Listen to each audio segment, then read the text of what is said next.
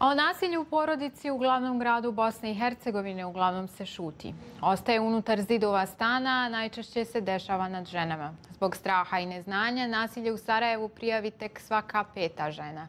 Više u prilogu Albine Sorguć, novinarke Birna Bosne i Hercegovine.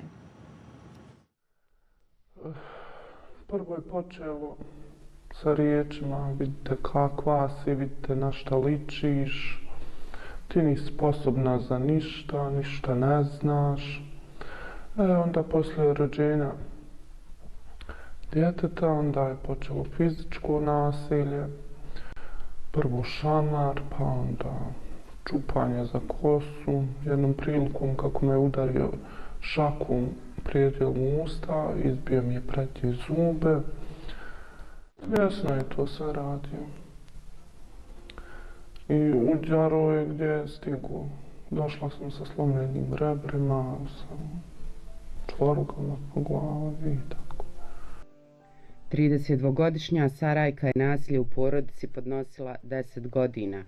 Supruga je prijavila policiji nakon što je rekao da će ubiti, a kada su njegove radnje ukazivale da to i planira. Zbog zadobijenih povreda bila je smještena u medicinskoj ustanovi, a potom u sigurnu kuću Fondacije lokalne demokratije gdje trenutno boravi sa djecom. Imamo jako puno slučajeva nasilja uh, koji se dešavi kod starih žena koje su recimo 45 godina u braku trpile nasilje i tek se sad odlučile da prijave.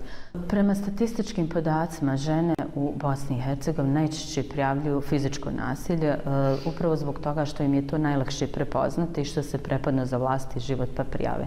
Međutim, u razgovoru s njima mi vidimo da to zaista nije samo fizičko, da je to uvijek kombinacija više oblika nasilja i najčešće su zastupljeni svi oblici, dakle, psihološko nasilje, ekonomsko i jako čisto i seksualno nasilje koje one ne znaju prepoznati.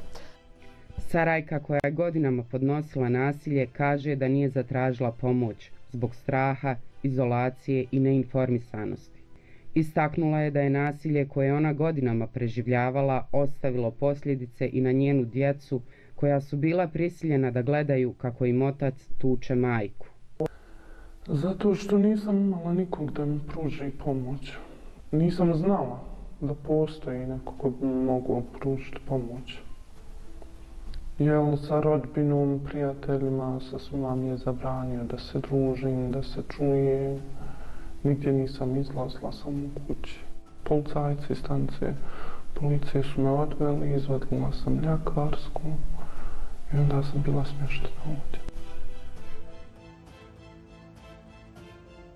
U Sarajevskoj policiji navode da je nasilje u porodici vrlo bitno prijaviti kako bi se zaštitile žrtve i spriječio međugeneracijski prijenos traume i Što se prijavi ranije, to je bolje jer ono jeste po svojoj definiciji ciklično, odnosno ovaj dinamika samog tog nasilja u poroci uvijek ima svoju fazu napetosti, fazu nasilja i fazu medenog mjeseca. I kada je faza nasilja, one prijavljuju, ali kada je faza medenog mjeseca, žrtve odustaju od tih uh, prijava i ne žele da svjedoči. Nasilje u porodici dešava se pred očima djece i ostavlja ogromne posljedice. Prema istraživanjima nadležnih institucija, djeca koja odrastaju u takvim porodicama su sklona delikventnom ponašanju, vršnjačkom nasilju, konzumiranju narkotika i slično.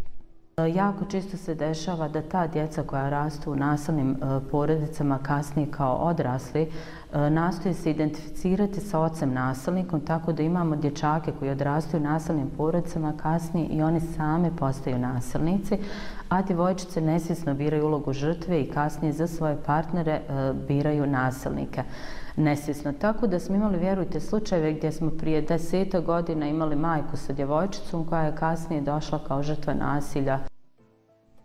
Prema izvještajima institucija, nasilnici dolaze iz različitih društvenih slojeva. Nasilnik može biti svako. E, na ulici ga ne možete prepoznati. Dakle, imamo iz e, raznih društvenih slojeva, imamo obrazovane, neobrazovane, iz gradskih, iz ruralnih sredina. Najčešće nasilnik je u javnosti neko ko e, okolina ne bi pomisla da je naslan. On je samo naslan unutar četiri zida. Nakon niza kampanja od kojih su neke prezentirane i u školama, primjetno je da dolazi do osvješćivanja mlađih žena koje se same odlučuju na samom početku braka da prijave nasilje.